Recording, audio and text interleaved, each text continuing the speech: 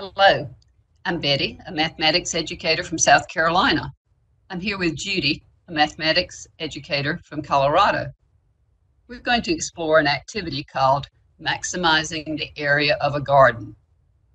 This activity is located at Math Nspired at the education.ti.com website if you'd like to access the TI Nspire activity our student activity sheets our teacher notes later for the activity. Again, education.ti.com, activities, math Nspired under the Algebra 2 section. The question related to this garden is posed on both sides of your screen.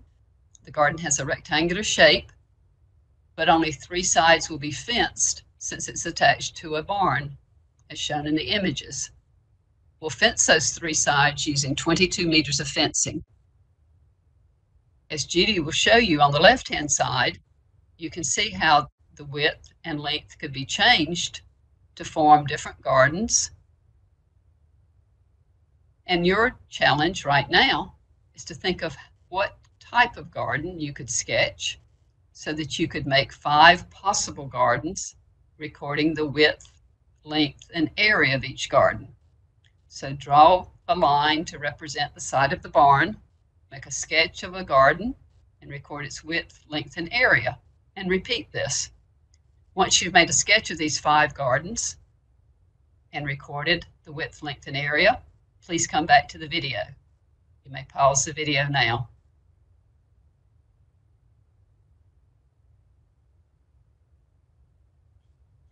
If you hadn't considered making a table to record your data, perhaps you could make a table like the one shown below or to the right.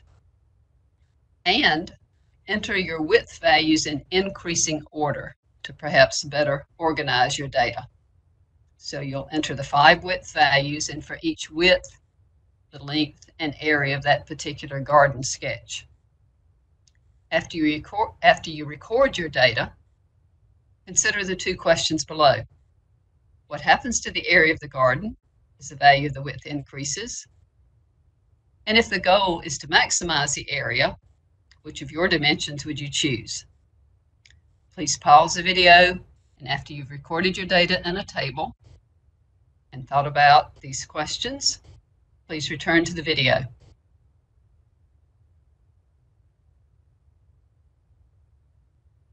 Some sample data is shown on the next page.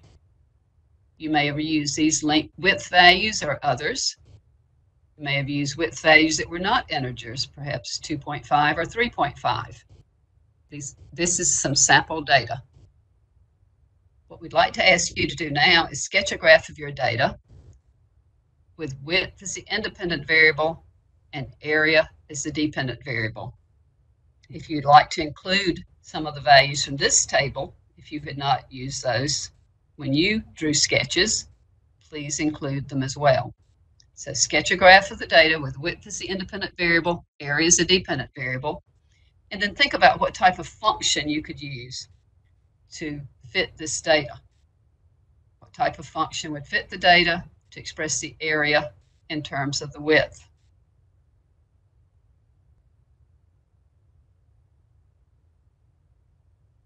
Let's look at a graph of this data. On page 1.3 of the TI Nspire document is a place to enter the width and area data. Judy had already entered the data from the table. For example, when the width is 2 meters, the area is 36 meters, and the data are graphed. When we look at page 1.4 of the TI Nspire document, you'll see that the data is now graphed on a full screen on page 1.4. You did not have to regraph if you use the TI Nspire document to graph the data. And again, thinking about what type of function could be used to express the area in terms of the width. Let's first of all determine this equation.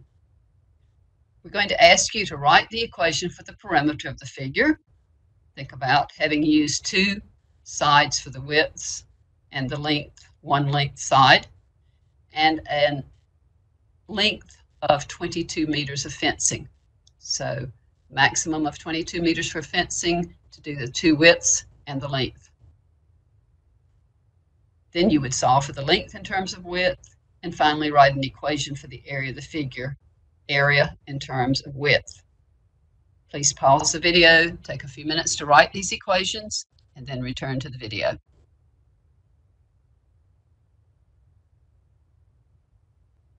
You hopefully started out writing the equation for the perimeter of the figure, but with only three sides being fenced, we have two widths plus the length is equal to 22, the 22 meters of fencing. So 2 times W plus L equals 22. We solve for the length in terms of the width. We subtract 2W from each side. So this is 22 minus 2W equal to the length. Finally, write an equation for the area in terms of the width.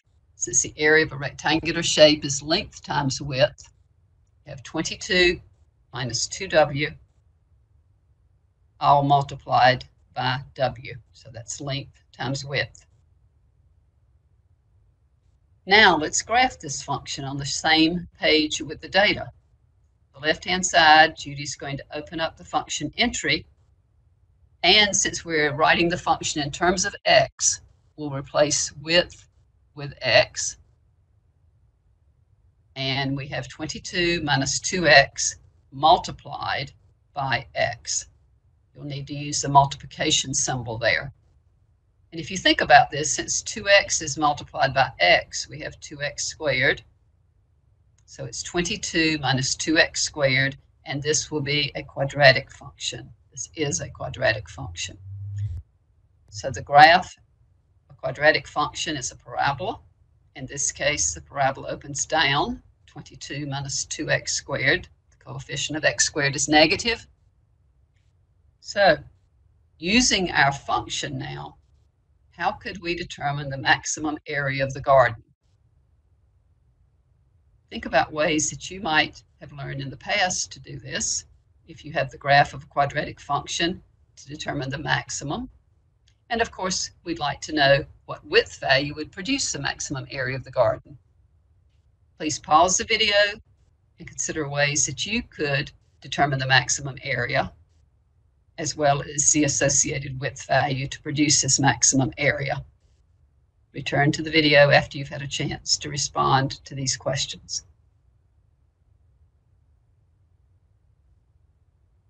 Since the parabola opens down, you may have thought about of you may have thought of using the vertex to determine the maximum area. There are multiple ways you can determine the vertex, and you may have done that algebraically. On the TI Nspire, we could also trace by selecting trace from the graph menu. And when you trace on this particular function, it may show us the maximum when we move very close to that value or very close to that location on the graph. And notice here it says that at the width value of 5.5 meters, our maximum area is 60.5 meters squared. We could have determined the vertex algebraically. Another way to think about determining the vertex when we have a graph is to look at the zeros of the function. When Judy traces very close to zero, we find that the x value of zero results in zero. That's one of the zeros of this function. And as she traces over to the right, 11 comma 0 is an x-intercept, 11 is the other zero of the function. So you may have learned in the past that the x value of the vertex is located at the average of these zeros. 11 plus 0 is 11 divided by 2. So a width value of 5.5 is the x value of the vertex. So we could record that the width is equal to 5.5 meters. That would produce the maximum area. And a way to evaluate that if you wish to use the technology in another way to evaluate it, even though we had already traced and seen that value, is that we could actually compute the function value. And we'll show you how to do that on a calculator page in just a moment. So we had our width of 5.5 and the maximum area you could obtain by substituting that width into the function. To do that using the technology, we'd add a calculator page, type F1, because the function was stored in F1, open parenthesis, and the x value of 5.5, press enter, and that evaluates the function value 60.5. And of course, you may have used other methods to determine the maximum area of the garden and the width that would produce the maximum area. Now we have a challenge for you. Suppose that this garden is not going to be attached to a barn, but it has a rectangular shape still. You have 22 meters of fencing to use for the garden, but in this case, of course, all four sides must be fenced. Your challenge is to determine the width and length that will result in a garden with the maximum area. Determine the width and length that will result in a garden with the maximum area. If you have downloaded the TI Nspire document, you can use the document to explore this challenge. For other videos, please go to the TI Education YouTube channel.